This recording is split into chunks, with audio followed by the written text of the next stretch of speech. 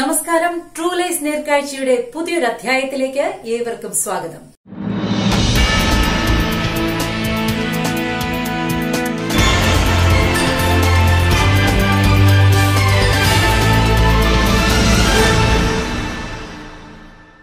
കഴിഞ്ഞ വർഷം ലോകത്തെല്ലായിടത്തും എന്ന പോലെ ഇന്ത്യയിലും ഏറെ കെടുതികൾ വരുത്തിയ ശേഷം കോവിഡ് ഒന്നടങ്ങിയപ്പോൾ പലരും ആശ്വസിച്ചു. പഴയതുപോലെ അല്ലെങ്കിലും ജീവിതം പതുക്കെ തിരിച്ചു പിടിക്കാം എന്ന്.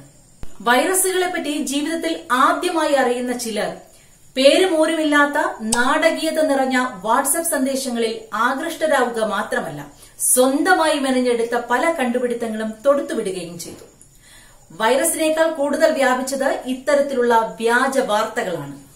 നമ്മളൊക്കെ കൊറോണയെ തോൽപ്പിച്ചെന്നും ഇന്ത്യയെ വൈറസിന് തൊടാനാവില്ലെന്നും നമുക്ക് എന്തൊക്കെയോ പ്രത്യേകതകളുണ്ടെന്നും ഒക്കെ സമൂഹ മാധ്യമങ്ങളിൽ പറഞ്ഞു പരത്തി. ഒന്ന് കുന്നുകയറി ഇറങ്ങിയാൽ എല്ലാം ശരിയായി എന്ന വിശ്വാസമാണ് എല്ലാവരുടെയും ഉള്ളിൽ വന്നുപെട്ടത്. പൊതുസമൂഹത്തിൽ ജാഗ്രത കുറയാനുള്ള ഒരു പ്രധാന കാരണം ഇത്തരം സുഖിപ്പിക്കുന്ന സന്ദേശങ്ങളാണ് എന്ന് പറയാതെ വയ്യ. എന്നാൽ അനേക വർഷങ്ങളായി ഈ വിഷയങ്ങൾ പഠിക്കുന്നവർ വൈറസുകളുടെ സ്വഭാവം അറിയുന്നവർ ആദ്യം തന്നെ പറഞ്ഞു ഇത് ഇവിടെ തീരാൻ പോകുന്നില്ല. രണ്ടാം വരവും അതിനുശേഷമുള്ള വരവും മറ്റുമുണ്ടാകും എന്ന്. വെറും ഒരു കുന്നല്ല ഒരു നീണ്ട മലയുടെ അറ്റത്താണ് നാം ഇപ്പോൾ നിൽക്കുന്നത് എന്നും. ഈ കുന്നുകയറി ഇറങ്ങിയാൽ അതിനുമപ്പുറത്ത് അനേകം കുന്നുകൾ ഉണ്ടാകും എന്നും അറിവുള്ളവർ അന്നു പറഞ്ഞിരുന്നു. എന്നാൽ കേൾക്കാൻ ഇമ്പമില്ലാത്ത കാര്യങ്ങൾ പതിവ് പോലെ ശ്രദ്ധിക്കപ്പെടാതെ പോയി. പലരും ജാഗ്രത കൈവിട്ടു. കേരളത്തിന് പുറത്തുള്ള ചില സ്ഥലങ്ങളിൽ മാസ്ക് ധരിക്കുന്നവരെ വിചിത്ര ജീവികൾ എന്നോണം തുറച്ചു നോക്കുന്ന അവസ്ഥയും ഉണ്ടായി. രാജ്യമാകെ കോവിഡ് ചർച്ചകൾ നടക്കുന്ന ഈ സമയത്ത് ഗ്രാഫിന്റെ കുത്തനെയുള്ള കയറ്റം കാണുമ്പോൾ ഇത്തവണ കൂടുതൽ ഭീകരമാകുമോ എന്ന ചോദ്യമാണ് ഉയരുന്നത്. എന്തുകൊണ്ടാണ് രണ്ടാം തവണയും കോവിഡ് ആഞ്ഞടിച്ചത്? കോവിഡ് രോഗമുണ്ടാക്കുന്ന സാർസ് കോവ് ടു വൈറസിന്റെ പ്രത്യേകത ഇടയ്ക്കിടയ്ക്ക് സമൂഹത്തിൽ പടർന്നു പിടിക്കുക എന്നതാണ്. മനുഷ്യരിൽ രോഗമുണ്ടാക്കുന്ന ആറ് കൊറോണ വൈറസുകളിൽ ഒന്നാണ് സാർസ് കോവ് ടു വൈറസ്. അവ ഇടയ്ക്കിടയ്ക്ക് വന്നുകൊണ്ടിരിക്കും. വ്യക്തിയിൽ നിന്ന് വ്യക്തിയിലേക്ക് അതിവേഗം പടർന്നുകൊണ്ടിരിക്കും. പക്ഷേ വെറും ജലദോഷമായതിനാൽ ആരും അത് കാര്യമാക്കാറില്ല എന്നു മാത്രം. മൂന്ന് ഒരിക്കൽ വന്നുപോയവർക്ക് പൊതുവെ കോവിഡ് വരുന്നത് കുറവാണ്.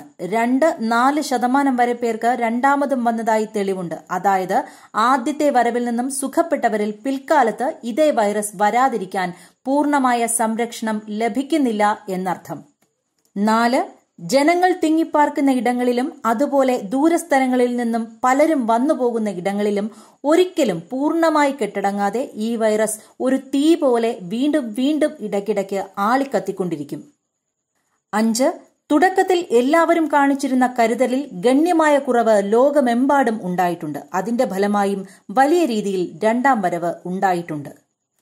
ആറ് ചെറുപ്പക്കാരിൽ കോവിഡ് ഗുരുതരമാകാറില്ല എന്നൊരു തെറ്റിദ്ധാരണ ഇപ്പോൾ നിലവിലുണ്ട്. വാസ്തവത്തിൽ ഇന്ത്യയിലെ കണക്കുകൾ നോക്കുമ്പോൾ പതിനഞ്ച് ശതമാനം മരണങ്ങളും നടക്കുന്നത് ചെറുപ്പക്കാരിലാണ്. ഏഴ് സ്വാഭാവികമായി ഉണ്ടാകുന്ന ജനിതകമാറ്റം വൈറസിന് ഒരാളിൽ നിന്ന് മറ്റൊരാളിലേക്ക് എളുപ്പം എത്തിപ്പെടാൻ വഴിയൊരുക്കുന്നു എന്നും തെളിഞ്ഞിട്ടുണ്ട്. എട്ട് തണുപ്പു രാജ്യങ്ങളിൽ ശൈത്യകാലത്ത് ജനങ്ങൾ അടഞ്ഞ മുറികളിൽ കൂടുതൽ സമയം ചിലവഴിക്കുന്നതിനാൽ വൈറസിന് മറ്റുള്ളവരിലേക്ക് എത്തിപ്പെടാൻ എളുപ്പമാവുന്നു.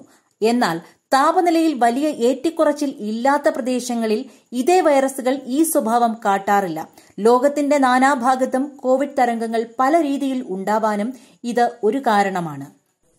ഒൻപത് വാക്സിനേഷൻ എടുത്തവരിൽ വൈറസ് ബാധ അഥവാ ഉണ്ടായാൽ പോലും ബഹുഭൂരിപക്ഷം പേരും രോഗം ഗുരുതരമാകാതെ രക്ഷപ്പെടും എന്ന് തെളിഞ്ഞുകഴിഞ്ഞു ഒരു കോടിയിലധികം പേർ നമ്മുടെ രാജ്യത്ത് ഇതിനകം രണ്ട് ഡോസ് വാക്സിൻ എടുത്തു കഴിഞ്ഞു. എന്നാൽ ഇത് നമ്മുടെ ജനസംഖ്യയുടെ ദശാംശം എട്ട് ശതമാനം മാത്രമാണ്.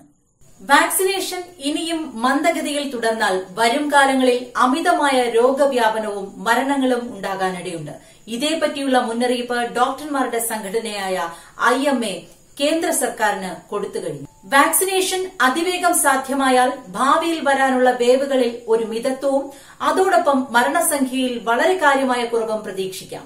എല്ലാ കണക്കുകൂട്ടലുകളും ശരിയായാൽ വാക്സിനേഷൻ ഫലപ്രദമായി നടപ്പിലാക്കാൻ സാധിച്ചാൽ ഒരു കാലത്ത് വെറും ഒരു ജലദോഷ വൈറസായി ഇത് തരം താഴപ്പെടാൻ സാധ്യതയുണ്ട്. കോവിഡ് വിമുക്തമായ നല്ലൊരു കാലം പ്രതീക്ഷിച്ചുകൊണ്ട് ഇന്നത്തേക്ക് വിടാം. നന്ദി നമസ്കാരം.